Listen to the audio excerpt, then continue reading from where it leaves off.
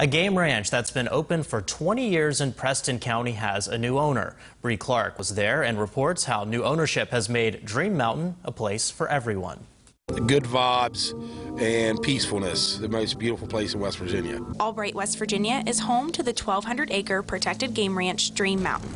Located in Preston County, Dream Mountain Ranch is home to bison, elk, white-tailed deer, hogs, and rams. Anything that um, the outdoorsman wants, we can get.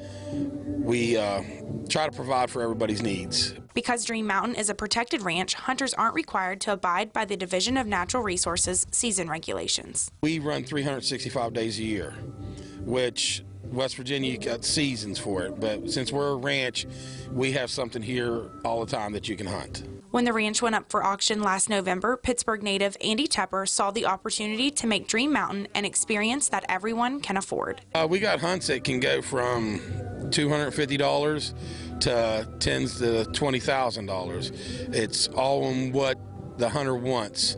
Uh, a lot of times, um, people can't afford the high-end hunts, but we got a lot of people coming in here using the facilities and harvesting these uh, very nice bucks and rams and hogs at a very affordable price. The ranch also hosts events like jamboree hunts that give outdoorsmen the opportunity to participate in a lottery-like hunt. Today we got a jamboree.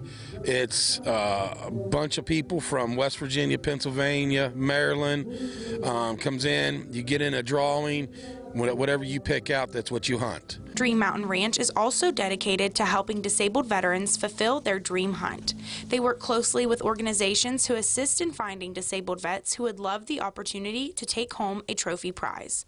And officials at Dream Mountain say once you're here, you're family. Once you come here at Dream Mountain, you're no longer a friend, you're a family of Dream Mountain. That's the main thing.